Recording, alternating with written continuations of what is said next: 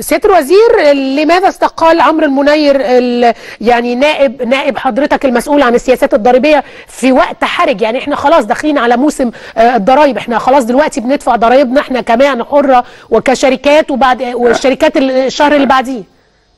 لا هو يعني الحقيقة يعني يعني هو يعني تقدم باستقالته للسيد رئيس الوزراء والسيد رئيس الوزراء آه، قبلها الاستاذ عمرو منير قام بدور يعني أكثر من من رائع وممتاز كفاءة كبيرة جدا آم، في وحضرتك كنت جايب ثلاثة من النواب وقلت إن هم دول يعني مساعديك في العمل. لا صحيح صحيح يعني في مهنته وفي حرفته يعني على على أعلى مستوى و و وكفاءة مشهود لها يعني على المستوى المحلي وحتى على المستوى الدولي لكن يعني بيبقى بيبقى في في ساعات رغبات للمسؤول في توقيت معين إن هو بياخد قرار معين فده ده ده اللي تم حضرتك طيب آخر سؤال ليا هو إنه الناس لما بتسمع كل الأرقام دي في النهاية المواطن بيقول يعني أنا 2018 حالتي فيها تتحسن؟ دخلي فيها هيزيد بأي شكل؟ هيبقى في فرص عمل آه توفر لي دخل أفضل؟ ده السؤال اللي بيشغل الناس. يعني يمكن أنا بهتم اقتصاديا بالأرقام آه زي حضرتك لكن الناس اللي بتتفرج علينا تسأل السؤال الأبسط اللي هو أنا حالتي إيه في 2018 دي؟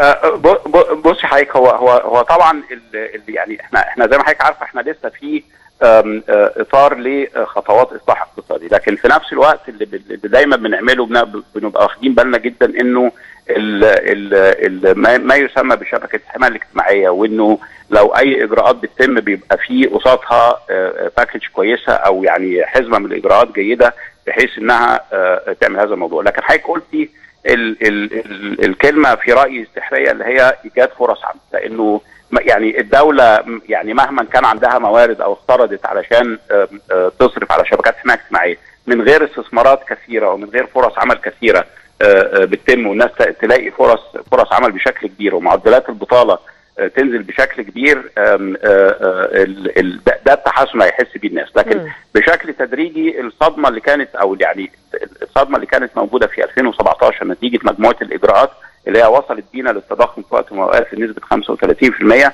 ده يعني ده ده بشكل كبير استقر آه، جدا. وزي ما بقول لحضرتك إن إحنا بنشوف معدلات التضخم ب ال- ال- السالب. معناها إنه في يعني إلى حد ما استقرار في آه يعني الأسعار. معدل ارتفاع الأسعار مش بنفس الوتيرة اللي فاتت. بالظبط كده بالظبط كده. فبالتالي إنه قيمة الفلوس ما بتقلش بنفس الشكل اللي شفناه قبل كده. بس برضو حضرتك ما بتقولي ما بتقوليش يعني أحوال الناس 2018 هل وضعهم هيبقى أحسن حياتهم هتبقى أفضل شوية؟ آه، مش عايزة أقول الأسعار تنزل لكن الأسعار تبقى مستقرة ويبقى في فرص عمل أفضل أكتر. لا الأسعار هتبقى حضرتك يعني في رأيي إن الأسعار هتبقى مستقرة لأن استقرار الأسعار له أكثر من من شكل واحد ال ال الانتاجية. اثنين التوزيع. ثلاثة اللي بنسميه الصدمات اللي جاية من بره إحنا طبعا بنراقب الأسعار للمنتجات اللي بتيجي من بره لو قمح أو ذرة أو غيره.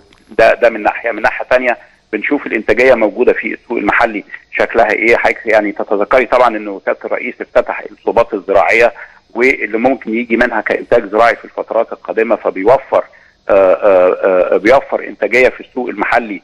كبيرة جدا وده بيساعد كل ما ال- ال- العرض بيزيد كل ما الأسعار بتبقى آآ آآ مستقرة إلى إلى إلى حد كبير. فبالتالي ما بيبقاش التأثير. وتاني حاجة حضرتك زي ما قلنا قبل كده إنه الإجراءات الاصلاح الاقتصادي إنك لما حضرتك بتعملي آم، آم، إجراءات إصلاحية أي وفر بيحصل منها بيروح من الناحية الثانية بيتحط في شبكات الحماية الاجتماعية بشكل كبير بحيث إنها يبقى توجيه الدعم للناس اللي بتستحقه زي ما عملنا يعني مثلا بطاقه تموين حضرتك إنه في سنة في في ألف... مايو 2016 كانت بطاقة التموين الفرد بياخد عليها 15 جنيه في يوليو 2017 كان بيتاخد عليها 50 جنيه يعني بنتكلم في 200 و آه، آه، آه،. 230% واخد بال حضرتك إزاي؟ زائد الزيادات اللي حصلت في المرتبات والمعاشات والتكافل والكرامه والخصم الضريبي وغيره كل ده طبعا كان آه، آه، فكرة إن إحنا تقليل الضغط نتيجة الإجراءات الاصلاحيه اللي حصلت نعم. لكن الأمر الأهم هو استثمارات والناس تجد فرص عمل ويبقى في فرص عمل كبيرة